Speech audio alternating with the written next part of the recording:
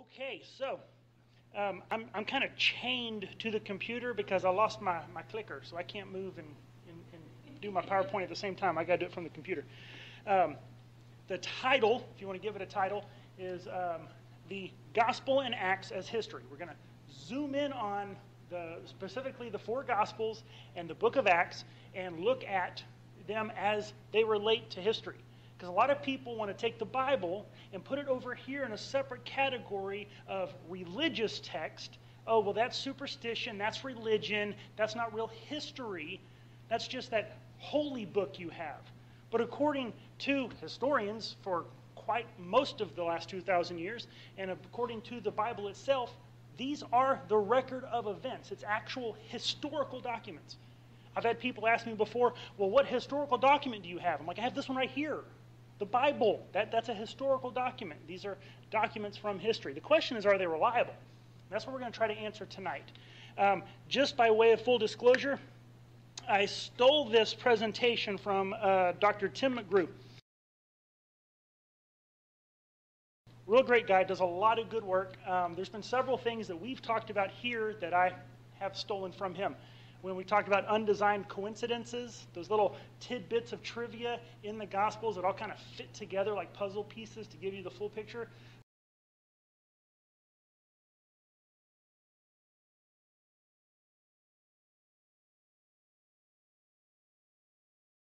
Um, whenever we talked about who the actual authors of the Bible are and how we know from history that Matthew, Mark, Luke, and John really did write those books, um, I got a lot of that material from Dr. McGrew. Um, and he has a website. I told him if he's given me permission, I'll go ahead and plug his website. He has a website called the Library of Historical Apologetics.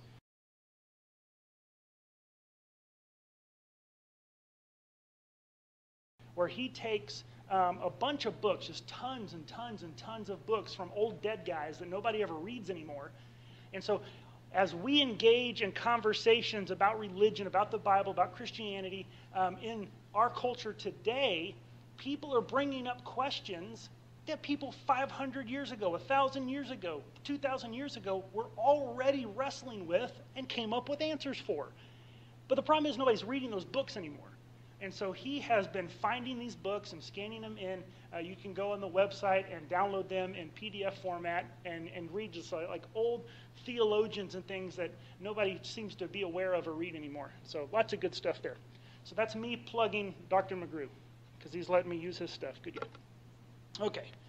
To start us off, it's always good to remember that this is historical documents. Uh, Luke, in his gospel, makes it very, very clear his intention he's writing to, uh, he says, he, he, names him Theophilus. We don't know if that was a specific individual's name or a group or just a general, hey, because it means lover of God. So, whoever he's writing to, this is what he says. It seemed good to me, having followed all things closely for some time past, to write an orderly account for you, most excellent Theophilus, that you might have certainty concerning the things that you have been taught. Okay, certainty hey, I'm writing you these things so that you can know it's true. You can know it's a fact. You can be certain. Some people like to argue that it's all probability. Well, maybe it happened, and you can kind of be mostly sure, and so you're safe to believe. No, no, no. Certainty that you can stand firm on the knowledge that what is presented in the Bible is indeed fact, that it is certain. So, we're going to talk about historical reliability. This is, this is really funny. This lets you know how philosophers think. This is Dr. McGrew's definition. Historical reliability, the non technical definition. A document is historically reliable if the fact that it makes a claim about a factual matter generally affords a significant prima facie reason to accept the claim, at least in broad outline. Y'all get that? That's the non technical definition. Basically, what that means um, is that we're. Uh, if a document is historically reliable, um, you can just you can pretty much trust what it says unless you have reason from some other source pointing out and telling you, um, hey, wait, they may have gotten that one wrong. So the Bible can be established to be a historical document, reliable, um, just as any other historical document. That if you pick it up and read it, what you read, you can take at face value as being true. Short of anything else proving it wrong, which, as we'll see a little bit in the case of the Bible, the more people try, the more people fail. Um, one thing, the talk today is not about the Bible being infallible or inerrant. Um, I believe it is those things, but that's not the focus of this. We're just talking about it as historical documents. If we were just um, non religious, if we were just, just approaching the Bible as not a holy book, but as historical documents, would they be reliable by those standards? And I think that they are. And so, if we're going to claim that, obviously we're going to need some ways to establish that this is the case. And so, there's a few ways you could do that. If you want to know if a document is reliable, well, you could know about the author. Is the author trustworthy? Is he someone who was there, who saw the events, who doesn't have a reason to lie? You know, those sorts of things. Okay, well, maybe we can trust him. And we can establish that stuff to some degree with the um, authors of the Bible. Uh, but when you get into documents that old, this might get a little bit of a fuzzy area. And so, what we're going to look at is you get multiple points of contact.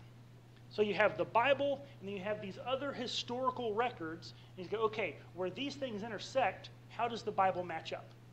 Does the Bible actually get confirmed? Does it kind of fall in line with, especially does it kind of interweave and interlock with these other um, historical sources? And if that can be proven, then um, we're doing pretty good. And so, um, da, da, da, external evidence, the possibilities. So here's how we're going to do this whenever you look at a piece of um, historical evidence, you take the Bible and you take this other historical source and you put them up side by side. There's really basically three categories, three things that can happen. Either one, it's going to confirm, they're going to match. The Bible says this, this other source says this. They confirm. Now, there's also the possibility that there's going to be a contradiction. Well, the Bible says this, oh, but this other source says that. Okay, now there's some tension. Now there's a problem. So what are you going to do with that? Or maybe the Bible says this, and this other historical record says nothing. Got nothing to say about it whatsoever. And so those are kind of the three things that we're going to be dealing with as we we're going to go through some stuff as we check this out. And here are the three claims I'm going to put forward to you and then try to prove through this presentation. One, there are numerous lots of, multiple places where the Bible intersects with and can be confirmed by these other historical documents that we have. That secular, atheist, agnostic, whatever you want to call them, any other historian in the world is going to look at these other documents and say, these are trustworthy, these are reliable, this is what we believe happened. We're going to take the Bible and we're going to say, okay, when you match those up, they match. It confirms the Bible. And we're going to take a look at some contradictions where people say, wait a minute, the Bible says this, but these other sources say that. Uh oh. We're going to look and say, well, actually, maybe those contradictions aren't as contradictory as people think. Then we're going to take a look at the fact that we don't hear something does not mean nothing happened.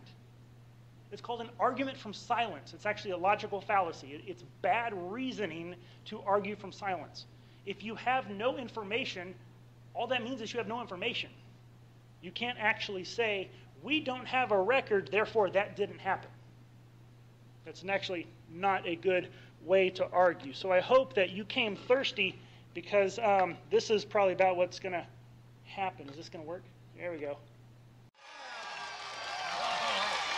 you ready? Yeah! Open wide! There you go. Hope you're thirsty. That's what we're about to have. We're about to be drinking from a fire hose. I'm about to unload on you. Um, so I'm going to be recording it. So if you get done and you're just like, "What did he say?" I think he was right. Wow. Okay, that I'm overwhelmed. You can go back and listen again. Um, but I'm going to be drinking from the fire hose tonight. So y'all ready? Are you comfortable? No, not comfortable. I'm sorry. There's nothing I can do about that. Fight through it anyway. We've got both ACs working now. Hopefully, the temperature's dropping right? Um, okay.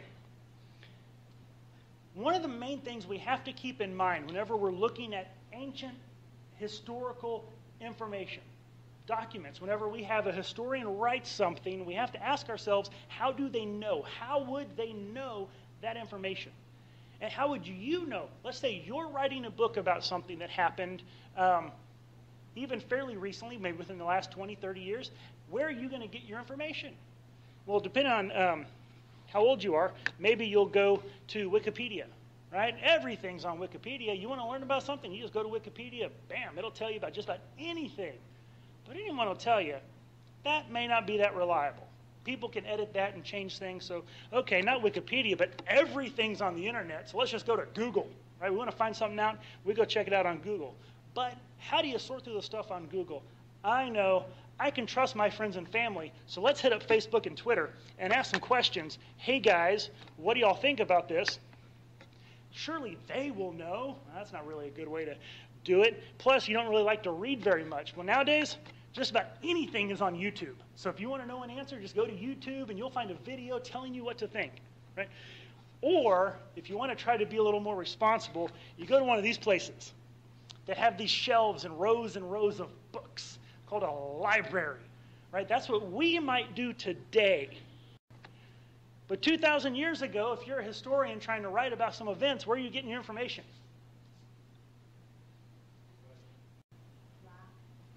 There's just there's, the places to get it is kind of small. First one that people accuse the Bible authors of is uh, you can make it up. People claim that's what the Bible authors did. They just made stuff up. Didn't know what they were talking about. You can actually do some research. I mean, it wasn't impossible to do research. You could go talk to people who may have been there. You can go research people who supposedly know about it. Um, you could go to a library. They did exist, but they were few and far between, and never know what books they or scrolls they may or may not have on any particular um, topic. So, the best way that people would know about things is they actually experienced it. They had firsthand knowledge of an event, or they got the information from an eyewitness, right? And, and so, the way that you might have to go study it back then. And so, as we consider, hey, what did these people know back then? Well, we have to stop and think. Well, if they knew it they actually had to go through some effort to learn it. Right? And so, with that in mind, keeping in mind that they couldn't just get on and Google it, they couldn't just go run down to their city library that has, you know, 5,000 books on the shelves and, you know, another thousands of books available through exchange programs and online and whatever. No, no, no. They, they actually had to go do the legwork to learn things. Okay. External confirmation. this is what's really neat. We know a lot about first century Israel. We, we, actually do. There's actually quite a bit of what was going on there in the politics. We have a historian, his name is Josephus. We'll talk about him here in a second, who gives us a ton of good information. The, we know the political situation was very complicated, that they had this double system in place. See, when the Jews got conquered by the Romans, they didn't get conquered through military invasion. They basically just said, hey, we'll join you. And so they, they kind of were taken over in this way where they got to preserve some of their cultural identity and some of their personal kind of ways of doing things. They got a little bit of um, autonomous control within their own borders, right? And so you had um, Roman taxes, you had Jewish taxes. You had the Roman military, well, you also had the Jewish military, right? You, you had um, Roman courts, but you also had Jewish courts. And so you just kind of had this double system in place. Then we'll see this getting played out throughout the New Testament because the Bible authors actually get it right. And what we have going on during this time of the life of Jesus and shortly after is a very complicated um, kind of back and forth interplay of power and politics in the area. We start out at the time that Jesus is born in 6 BC. Um, the monk who originally calculated that got it wrong. Jesus was actually born in 6 BC. Um, Herod, Herod the Great, the king, he dies in 4 BC. He actually ruled the entirety of Israel and some other areas around there. He, he, he ruled the whole enchilada. Right? The, the whole thing was under his control. Well, whenever he dies, he actually splits it up among his sons, and it becomes um, several little provinces or tetrarchs is the actual word and you have um, Archelaus in the, down in Judea, Antipas up in the north, and a couple other, he had some kids, so he had several of these little groupings where they ruled. So you start out with one big kingdom, then it breaks into a bunch of little territories, And then, after Archelaus dies, Rome comes in and takes over Judea. Judea is the that's where Jerusalem is. That's the big important place. So Rome takes it over, but up in the north in Galilee and some other places are still under these little regional kings. Okay, but then after a while, um, Herod's grandson actually gets to become king again. Rome grants him the authority, and he gets the whole of his grandfather's kingdom back for a few years.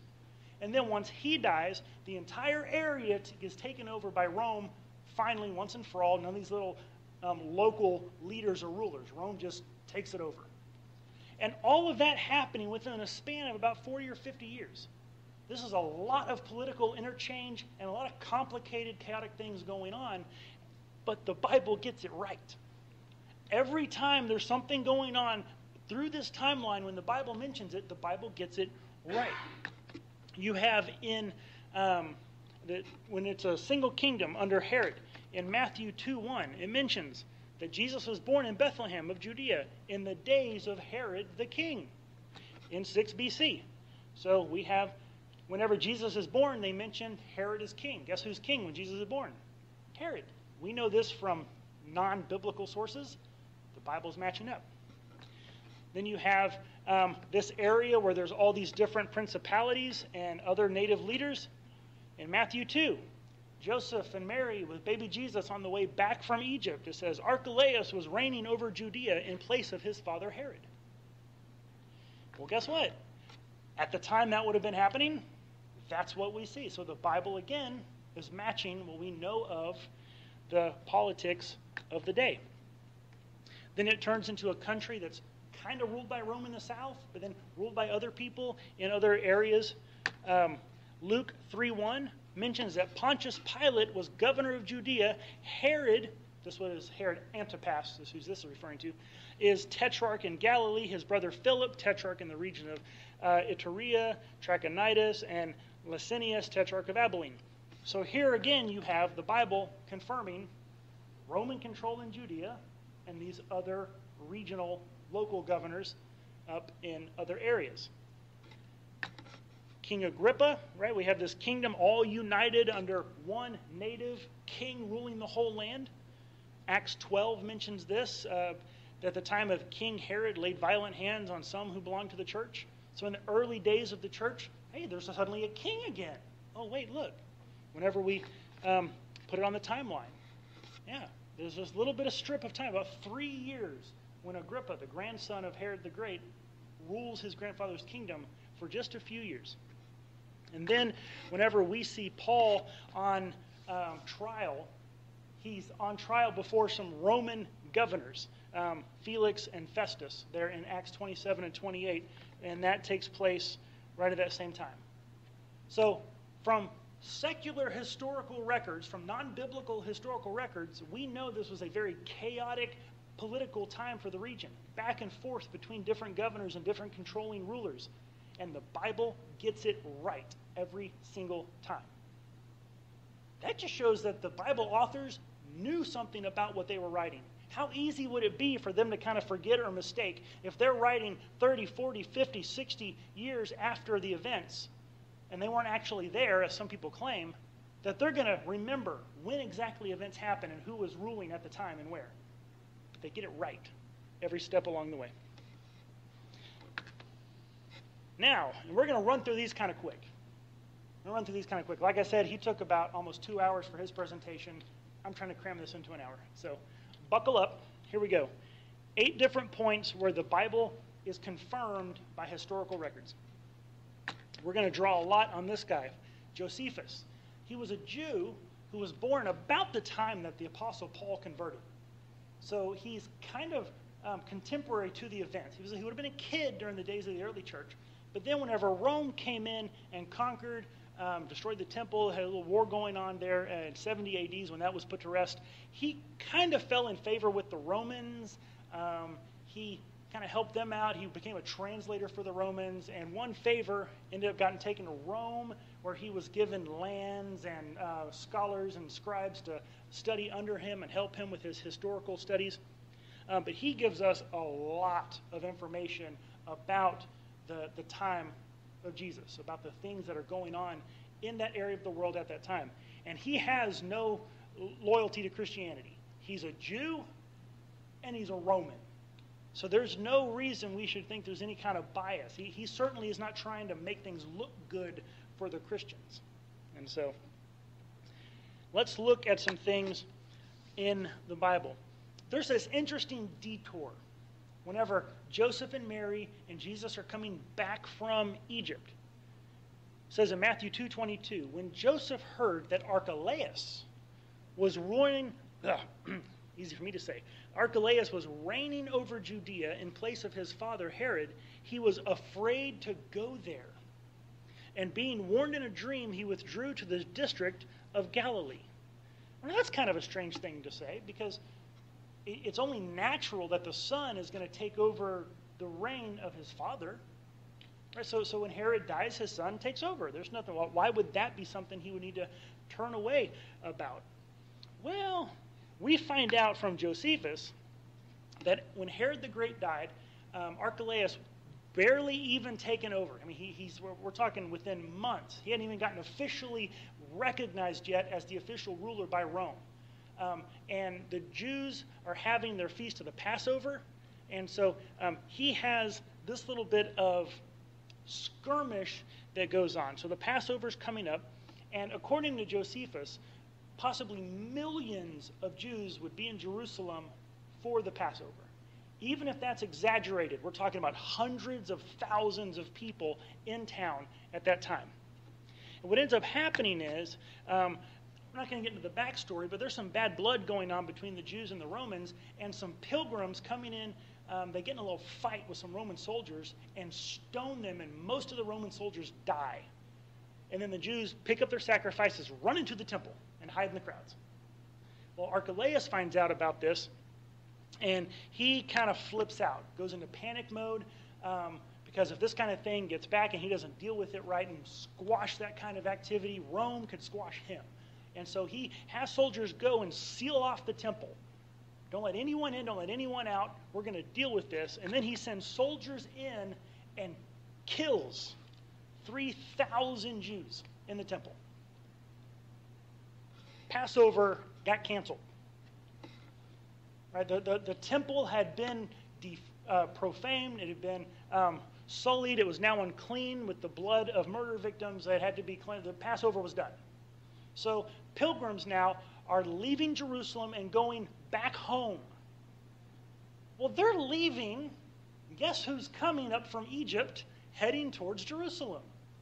Mary and Joseph with little baby Jesus. So, do you think maybe the people on the road were talking about something that had gone on? Right? As he's going to Jerusalem, he's seeing people coming back. Hey, where are you going? Isn't it Passover? Oh, you haven't heard about what Archelaus did. So now Joseph recognizes he is as bad as his father. I don't want to go there. Let's go up north to Galilee because Herod Antipas is ruling in Galilee and he's not the bloodthirsty monster his brother is. So now that kind of makes a little sense where the events of the Bible and the other historical sources fall right in line with one another. Pilate's wife. Pilate's wife. I love this. In Matthew 27, um, Pilate has, is he's trying as hard as he can to let Jesus go. He knows the man is innocent. He's done nothing wrong, but the Jews are so insistent, and so he's trying to find a way to get through this, and he gets this. Matthew 27, 19. While he was sitting on the judgment seat, his wife sent word to him, Have nothing to do with that righteous man, for I have suffered much because of him in a dream. So he's in this situation, and he gets a message from a wife that says, I had a dream, Leave that man alone, have nothing to do with this whole situation. It's not going to be good. Well, people have tried to say that that didn't actually happen. That Matthew wrote that in there as kind of a special little, ooh, look, you know, God was sending a vision to Pilate's wife. And then critics say, but wait a minute, Pilate's wife wouldn't even have been there. Caesar Augustus, who was the king, or the Caesar, the emperor of Rome, when Jesus was born, he had made a rule that his governors could not take their wives with them. So whenever Pilate would have gone to Judea, he is not supposed to, the, rule of um, Caesar Augustus was your wife has to stay in Rome. And so critics will say that uh, this is made up. Christians just made this up. The author of Matthew has no idea what he's talking about, just made it right up. Pilate's wife would not have been there. Well, but then we have this guy, Cornelius Tacitus. He's a Roman governor, and he actually uh, is also a historian. And he has studied and found out that um, during the reign of uh, Tiberius, who's the Caesar after Augustus, that during his reign, this rule kind of got, you know, let go. People could bring their wives, no one ever really cared. Actually, at one point, he records that someone put forth in the Senate to pass a law to make this rule get enforced again. And it didn't get passed. So people say, well, Augustus passed a rule. Pilate wouldn't have had his wife with him. Well, but Tacitus lets us know no one actually followed that rule. They brought their wives with them. So there we have the Bible matching up with the historical accounts yet again. This one is fun. Going from Tyre to Galilee. Right? Is, we're going to test your, your uh, geography if you were paying attention a few weeks ago. Mark 7:31. Then Jesus returned from the region of Tyre and he went through Sidon to the Sea of Galilee in the region of the Decapolis. Well, if you know your geography, there's a little bit of a problem here. Because I know Tyre is right up there by where the underlining is there, and Sidon is north of it. So Jesus went north to get to the Sea of Galilee. Well, that just seems really weird. That'd be like saying, hey, I'm going to go to Dallas to get to Houston. That doesn't make any sense. Why would you do that? And so critics have said clearly to them, hold on, where, where, where am I not working? Come on. There we go. See that? They say that's the path he should have taken, just straight down there to it from Tyre. Critics have written this is uh, Adam Winn, who is uh, in his book, The Purpose of Mark's Gospel. He says many interpreters have noted this awkward route as evidence that Mark was unfamiliar with the geography of Palestine and Galilee. Well, but here's the deal. Here's a physical map. You see the dark colors there? Those represent elevation. I don't know if you can see what is right there between uh, Tyre and the Sea of Galilee. Let me put them side by side if you're trying to go from Tyre down to the Sea of Galilee, what's right there in your way? A mountain. The elevation of that mountain is actually, um, that says 1208. That's in meters. So if you do the math, we're coming up with Mount Meron elevation almost 4,000 feet. This is the view. If you're standing, I mean, this was taken nowadays. If you're standing in where the city of Tyre is, Tyre, Tyre, Tyre, Tyre, I don't know how to pronounce that, Tyre, and you're standing there looking east, this is what you see. So if he was to try to go straight from there to the Sea of Galilee, he would have to go over that mountain. But what's happening there to the left of the screen? It's kind of dipping down, losing elevation. Well, that's because up near Sidon, there's actually a pass where you can go from Sidon through that pass between the mountains and follow the River Jordan all the way down to the Sea of Galilee. Well, hey, now not only do you have to go over a mountain, you've got water for your trip.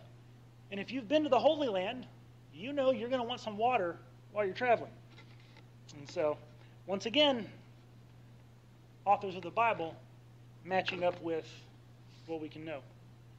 Jewish law. Apparently, Mark has no idea what he's talking about when it comes to Jewish law. Because Jesus, talking about marriage and divorce, answering a question someone posed, he said, If she divorces her husband, if a woman divorces her husband and marries another, she commits adultery. And we think, well, yeah, you know, woman divorces committing adultery. Well, here's the deal. In Jewish law, the book of Moses, there is no uh, allowance for the wife to file for divorce. You, you look in uh, the law in the Old Testament, the husband can divorce, wives can't. And so people have said, aha, here we go. Mark was just a Gentile, he was not a Jew, and here he is showing his ignorance of Jewish law. Here is the words of one critic says that this sentence is generally regarded as an addition to Jesus' teaching that was made to address situations related to Roman legal practice whereby a woman could initiate divorce. So people are saying, oh, well, Mark, you know, he was a, he was a Gentile, he didn't know Jewish law. He just kind of added that in to kind of help it make sense to the Romans. Well, but if you know anything about what's going on at the time, Josephus tells us that Herodias, who was um, the wife of Herod Antipas, that Herodias took it upon herself to confound the laws of our country and divorced her first husband in order to marry Herod Antipas. So she wanted to marry the king, but she was already married. So she did what was not lawful to do and divorced her first husband in order to marry Herod. Now, here's the thing Herod rules over what area? Galilee. Where's Jesus standing whenever he says this? Galilee. So, this is actually commentary on current events. So, whenever Jesus was standing there saying, when a woman divorces her husband, she commits adultery, ooh, they would have known exactly who he was talking about. and so, definitely, again, the Bible lining up with history.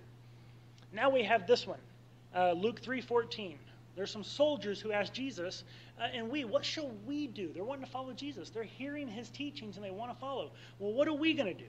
And he said to them, Do not extort money from anyone by threats or by false accusation, and be content with your wages. What's interesting is, doesn't make sense to us. But when you get into the Greek, when it says some soldiers asked him, the, the, in the Greek, the grammar is a little different. And it actually is saying um, soldiering, that they were soldiering, that they were doing so, they were actively on duty, that these guys were active military on mission whenever they encountered Jesus. Well, here's the thing it's a time of peace. They're not at war with anybody. Right? There, there, there's no, Rome isn't fighting any battles. Who are these soldiers and why are they soldiering? Why are they active duty military in a time of peace?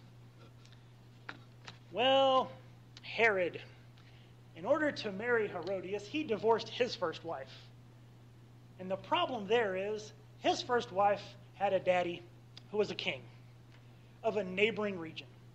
And so whenever she got divorced, she went running home to daddy, and daddy wasn't too happy about it. So there was some little border wars going on. It wasn't a Roman war, there wasn't a big war, but it was some military stuff back and forth between Herod and this guy because of him divorcing her. And so Herod's soldiers would have been on duty. This guy's kingdom was actually a little, little south, a little is to the east, a little. Uh, well, I guess on your side it'd be this. Is, is down a little like around the Sea of Galilee, a little more to the south. And so he would have been sending soldiers south along the Jordan to the Sea of Galilee, down there to where he had a fortress, where that's where the showdowns would have been going on. So these guys were actual soldiers in active duty because there was a little war going on. It wasn't a Roman war, it's a little infighting between territories, but we find out once again the Bible knows what it's talking about. This one's fun. This is, this, this is where Jesus kind of um, turns the tables on them when it comes to taxes right? In Luke 20, 24, and 25, they say, hey, is it lawful to pay taxes to Caesar? And they think they've got him. Because if he says, yes, pay your taxes, well, then everybody's going to flip out and get mad because they don't like the Romans. If he says, no, don't pay your taxes, then all they have to do is go, Romans, he's telling people not to pay their taxes, right? So they think they've got him in a pickle. But he says this, show me a denarius. Show me a Roman coin whose likeness and whose inscription does it have? And they say, Caesar's. And he says, Well, then render to Caesar the things that are Caesar's and to God the things that are God's. Well, that's a neat little story in and of itself, except for the fact that we have actually found some of these coins. It, whose image is on there? Caesar's, right? Not just his crest, not just his symbol. Caesar himself is image on there. Well, there's a little problem with Jews and images. Uh, Exodus 20, verse 4 You shall not make for yourself a carved image or any likeness of anything that is in heaven above or the earth beneath or in the water under the earth. Think that kind of qualifies as being in the earth beneath? Hey, have no images, no carved images of things. But then he says, Whose inscription is that? And you think, okay, well, no big deal. It just has Caesar's name on it. No, no, no. The inscription, I'm not going to try to read the Latin. The inscription translates roughly to Augustus Tiberius Caesar, son of the divine Augustus. This would have been a reference to the Roman worship of their emperor. Think that might have a little problem with the Jews? Exodus 20, verse 3 You shall have no other gods before me. So they're saying to him, Oh, yeah, do we have to pay taxes? He goes, Oh, you're worrying about taxes? Show me the coin. And he holds it up. Whose image? Whose inscription? And right then and there, one of the reasons why they suddenly were staring down at their sandal straps is because he just shamed them because that right there violates two of the Ten Commandments, the first two. All right, woman at the well. This one's kind of fun. We know the story. Jesus coming through Samaria, stops. Uh, uh, you know disciples go on in to find some food, and he's sitting there. A lady comes to draw some water, and he basically says, "Hey, you know, go get your husband," and exposes that she doesn't have a husband. Says, "Of course you don't have a husband. You've been married five times, and the guy you're shacking up with now, he's not your husband anyway." And she says, "Sir, I perceive that you are a prophet." And then she turns it religious. Our fathers worshipped on this mountain, but you say that in Jerusalem is the place where people ought to worship. And Jesus said to her, Woman, believe me, the hour is coming when neither on this mountain nor in Jerusalem will you worship the Father. You, here's the point. You worship what you don't know. We worship what we know, for salvation is of the Jews. And that's an interesting little statement. You don't even know what you worship. Well, we find out from Josephus that a couple centuries before, the Samaritans had actually kind of been a little bit of a problem because the Romans were coming down. There was a little bit of an uprising of the Jews. And the Roman governor up in Syria was coming down to hammer the Jews to put down their little uprising. And the Samaritans, scared that they're going to get caught in the middle, and the, the, the, Samar- the um, Syrians were going to think that they were Jews, and they're like, hey, hey, let's send word to this guy. And so Antiochus the fourth was his name. Let's send word to Antiochus, and they, and they basically said, hey, hey, we're not Jews. I mean, we keep the Sabbath. You know, we got a few little cultural things, but hey, we're not Jews. Um, we, we have our own temple, completely different temple. And if you would just leave us alone, we will actually dedicate our temple to you. And Antiochus was under the impression, or at least put out the persona, that he was Zeus incarnated. Right? And so they, okay, we're going to make our temple a temple to Zeus. And so whenever she says to Jesus, hey, where are we supposed to worship? You say Jerusalem, we say here. And he goes, you don't even know what you worship. You dedicated your temple to Zeus. You're, you're, asking where you're supposed to worship Yahweh? Your temple says Zeus. You don't even know who you worship. And so, there again, historical record lining up with the Bible. Um, da, da, da, okay, I think this is maybe the last one. Pool of Bethesda, right? We all know the story. Jesus comes up. There's a guy laying there, says, "Hey, I want to get well," but you know the angel comes, stirs the water. First person in the water gets healed, but I can't get in the water because I'm just laying here. Um, says in Jerusalem by the sheep gate there's a pool in Aramaic which is called Bethesda, which has five roofed colonnades. Well, here's the problem. For the longest time, we couldn't find a pool in Jerusalem with five roofed colonnades. And people took this and twisted it to a metaphor. Here's one commentator saying that the ancients hope, ancients to find a source of a Jewish symbol, and in the five porches, an allusion to the five books of the law. And so, what the message would be is they would say that the, the five porches, the five coverings, actually represented the five books of the law. And here's this poor man who's under the law and nothing can help him, but Jesus can help him. And so they turn it into a metaphor. And that might be a good point, but the fact is, there actually is a pool. They discovered it. Archaeological work in 1956 uncovered a pool near the sheep gate that had five porches four, one on each side, and one across the middle. Oh, looky there, the Bible knew what it was talking about. We actually have, uh, there it is. It's a picture of the archaeological site. Um, I'm going to skip the book of Acts. The amount of information that we have about confirmed in the book of Acts is amazing. It gets ports, it gets um, locations of cities, uh, landmarks, shipping lanes, uh, names, a specific language. There's a village that has its own unique language, and the Bible gets it right. You have uh, areas of um, centers of industry, and the Bible nails it what that city actually did.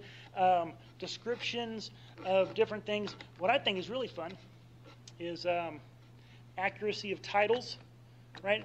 All these different places, when it mentions a ruler in a particular city or country or region, all these different little places have their own different little governments and different little titles for their rulers and for their kings and their governors and their procurators and their proconsuls. And the Bible gets it right every time in every location.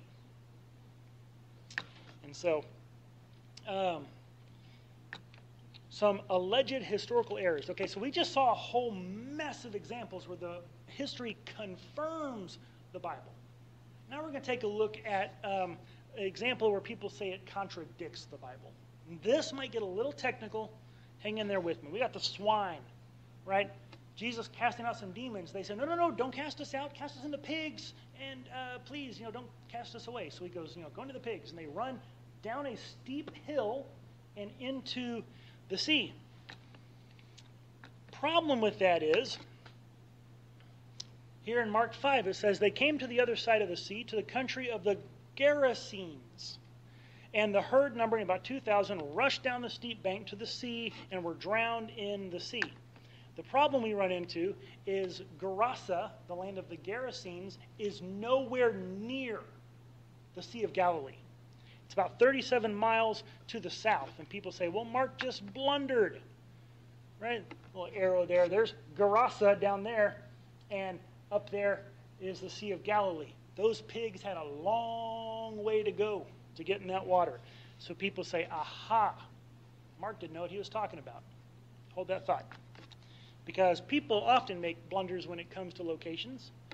In Mark 11, it says, when Jesus drew near to Jerusalem to Bethphage and Bethany at the Mount of Olives. Jesus sent two of his disciples onward, and it goes on. People say, Aha, look at there, Bethphage and Bethany. Mark gives the wrong order.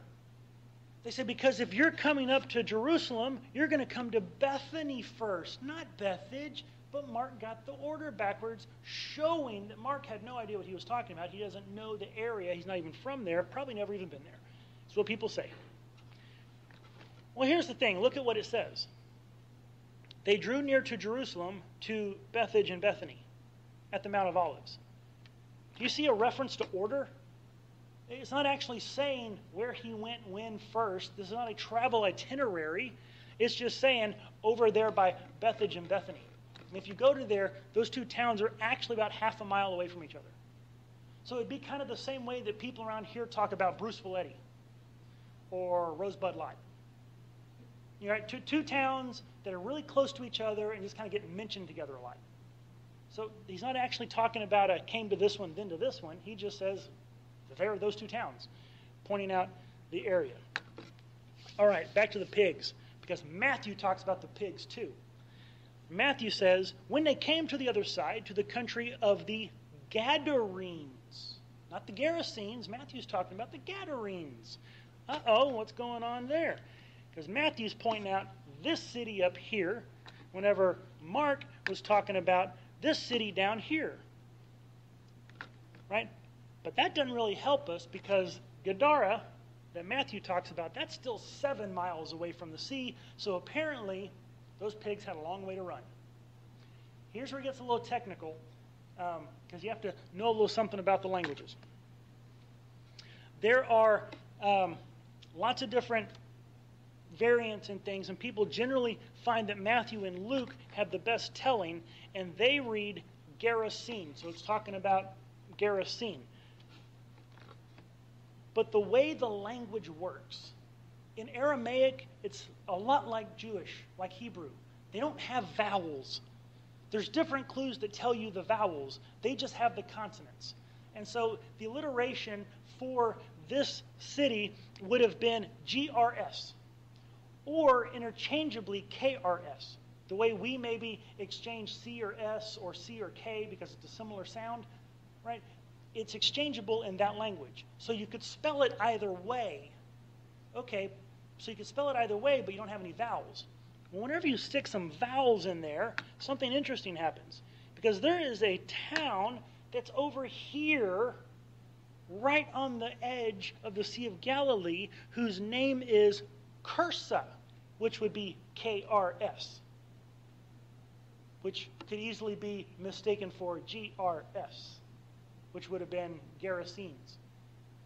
And so, actually, um, this looks like it was probably just a copying error of some kind. Someone thought they were correcting some spelling. This is actually the hill. This is the shoreline of the Sea of Galilee at Kursi. Could you see some pigs running down that hill? Right into the water? Right, there's another shot from across the lake. So, again, people look and go, aha, those Bible authors didn't know what they were talking about. Actually, what probably happened is some scribe copying misspelled something and the two words were so close together they got a little mixed up.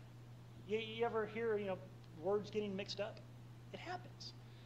But whenever you actually kind of dig into it and you look at the geography and you look at the language, oh wait a minute, there's a place that it probably was, and the a lot of scholars think that that probably is the real place. All right. Um, we're not going to go through Luke. We're a little run out of time. Luke is really fun to get into. Because right there in Luke chapter 3, he lists about half a dozen different individuals that we can dig in historically and verify who they were and when they reigned and what they were doing. And so that's a lot of fun. But for time, I'm going to skip over that. Um,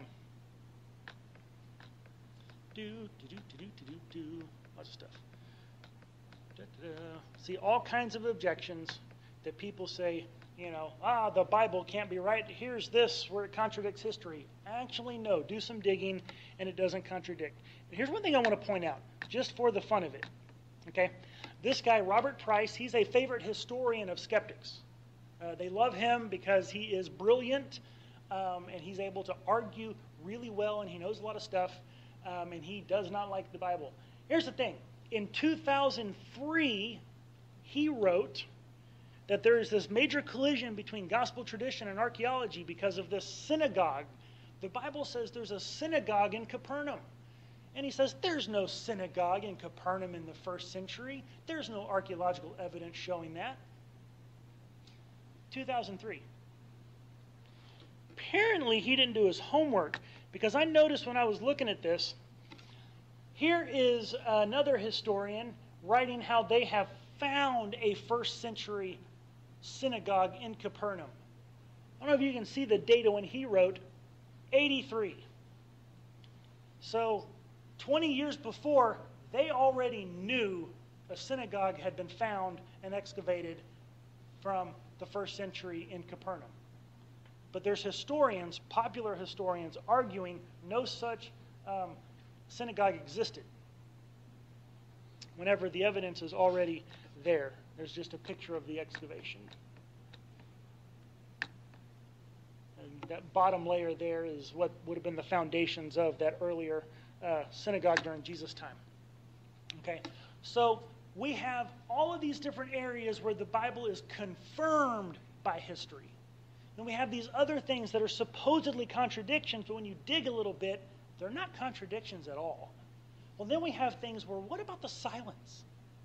What about whatever just doesn't mention? I mean, because surely if these things happen, someone else would have been writing about them.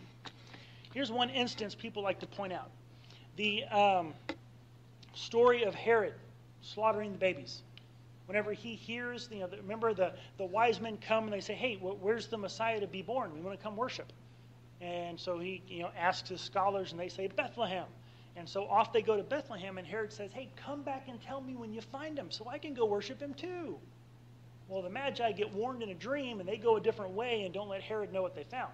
Herod gets really, really mad. He's kind of worried that there's a new king in Israel because he's the king, and so he sends his soldiers to go slaughter all of the male children in Bethlehem under the age of two. Wow. Surely such a horrible, horrible thing would have been recorded by somebody, right? Well, would it?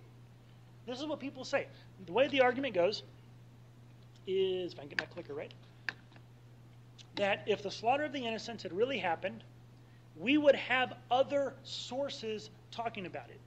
We do not have other sources talking about it. Therefore, it didn't happen. Matthew just made the whole thing up. Problem is, number two is true.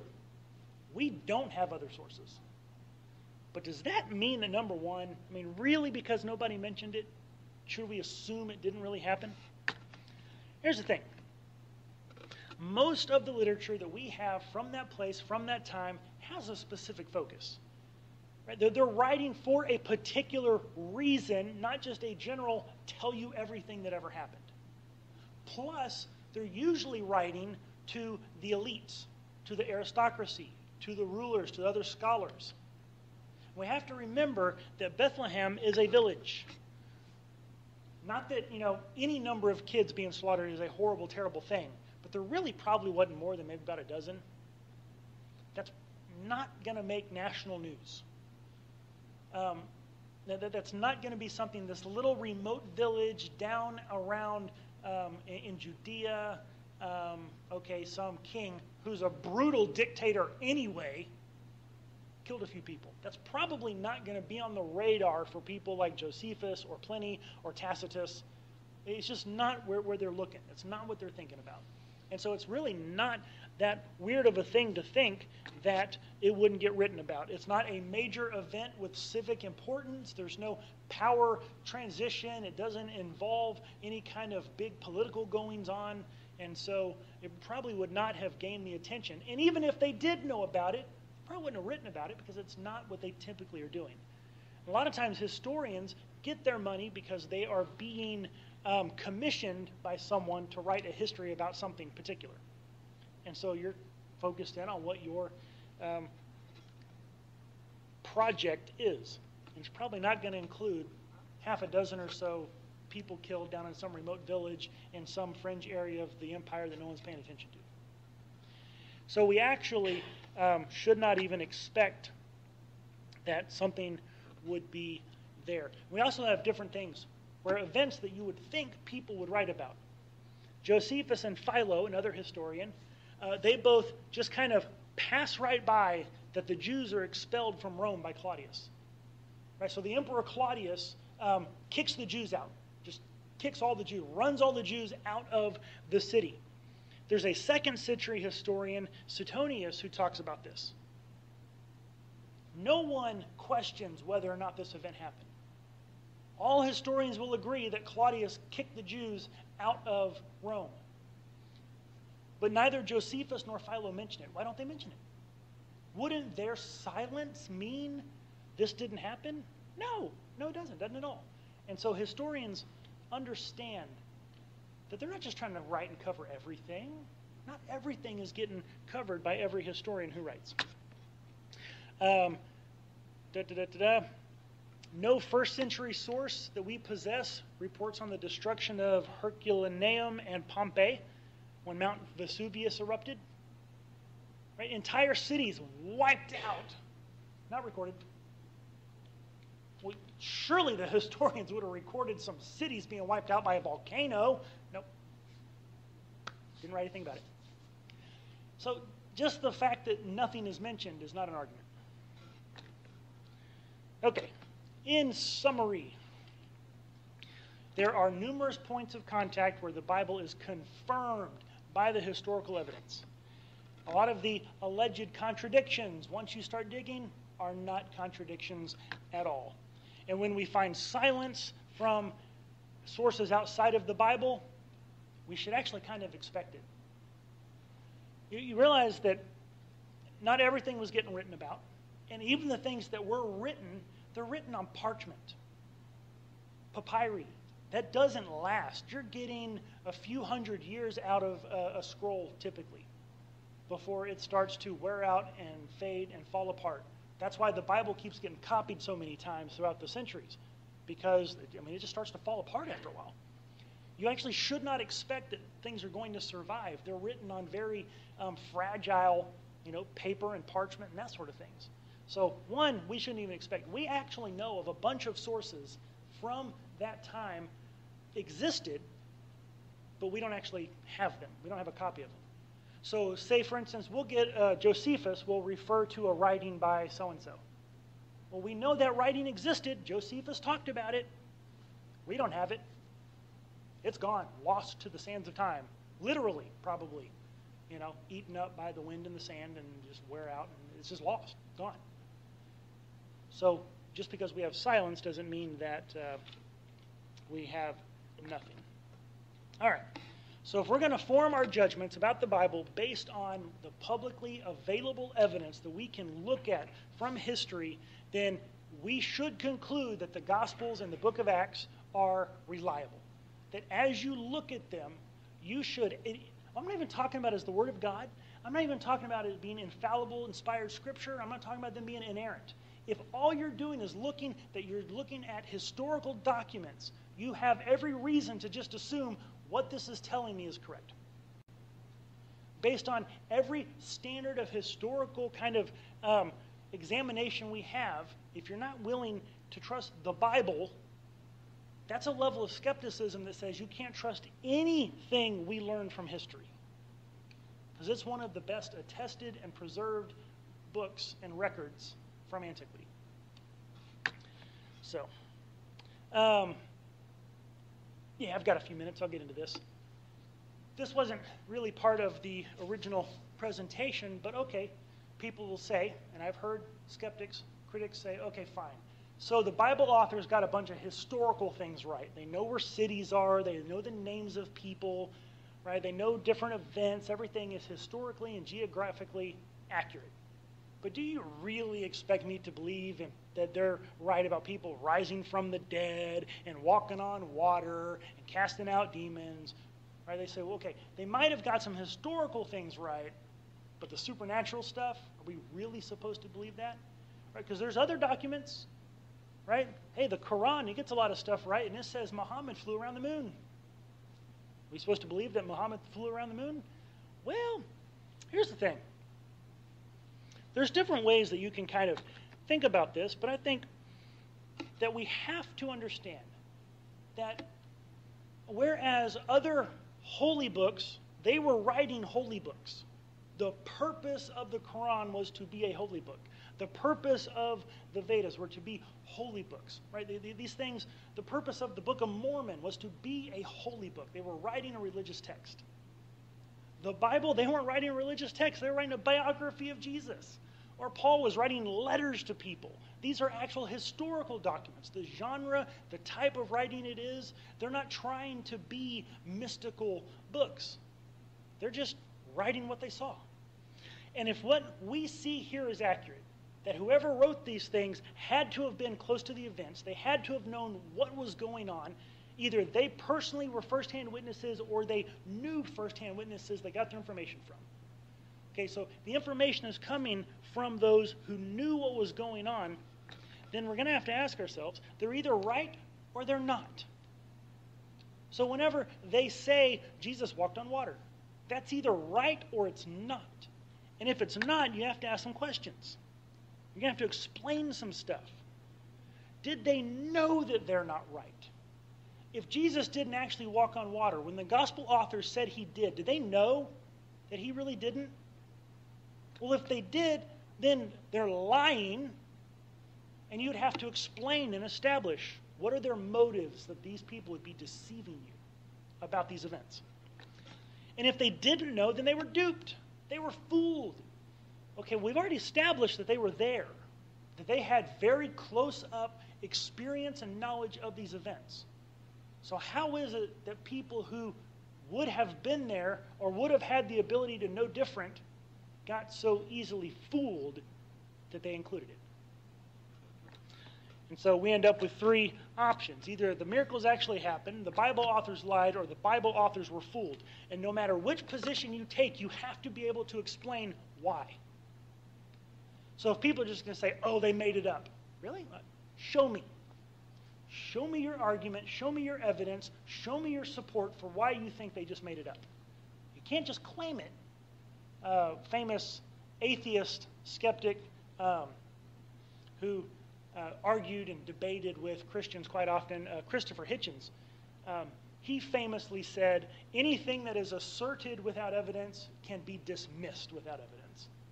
So if someone comes to you and says, believe this, why should I believe it? Well, just because. No, I don't want to. You can just dismiss it.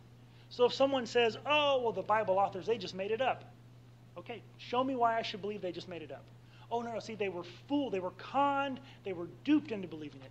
Okay, show me why I should believe they were duped into believing it. Make your case.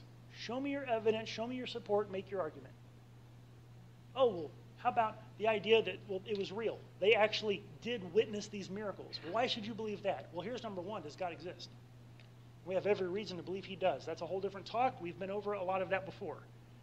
Well, okay, if God exists, is He capable of doing miracles? Yeah. What's the greatest miracle God has ever done? This is, what's that? Got it in the back, right? Creation. If you can create everything from nothing, right, everything else is child's play. Right? Raising people from the dead, that's nothing. Walking on water, no big deal. Created the universe out of nothing. You can manage that. Right? And so, okay, well, we have reason to believe this now. Right? We, we have positive reason to believe that God exists and that He's able to perform these miracles, and He has a reason to do it. Do you realize that the miracles in the Bible are grouped? Right? If you just think about all the miracles in general, you, it's almost like there's just miracles going on all over the place every day. But it's actually not so. The miraculous events in the Bible are grouped around Moses, Elijah and Elisha, and Jesus and the apostles.